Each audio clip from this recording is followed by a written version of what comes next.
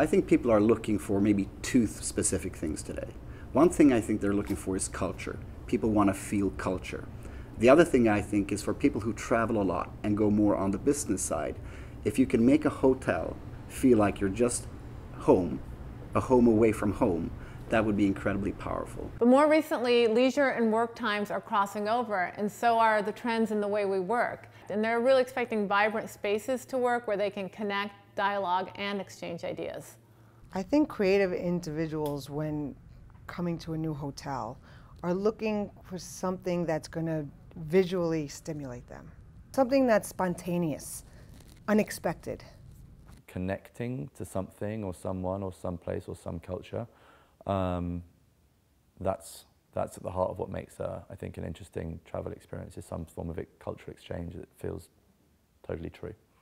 Great guest experience really comes down to the staff providing that experience. If staff are friendly and happy and generous with information and going out of their way to help you. Knowing what your guest wants and, and, and being there before they even ask for it is, is really an, makes an amazing experience.